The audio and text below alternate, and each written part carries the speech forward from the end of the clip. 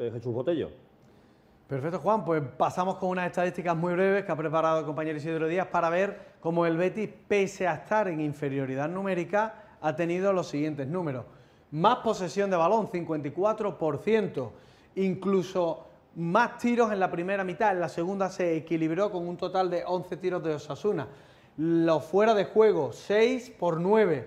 Corner, 2 por 4 y sobre todo unas estadísticas que hemos dicho en directo en la retransmisión, Juan, las recuperaciones. Incluso con un futbolista menos, el Betis ha recuperado más balones. Y las pérdidas, incluso con un jugador menos, el Betis ha perdido menos balones que Osasuna. Por lo tanto, Juan, al final tener un jugador menos no se ha notado por la solidaridad y sobre todo porque al final, cuando el Betis tiene el balón, 54%, sufre menos. Sí, señor, la famosa capacidad de sufrimiento como ha dicho Manuel Pellegrini, no siempre se gana de manera brillante, con goleadas.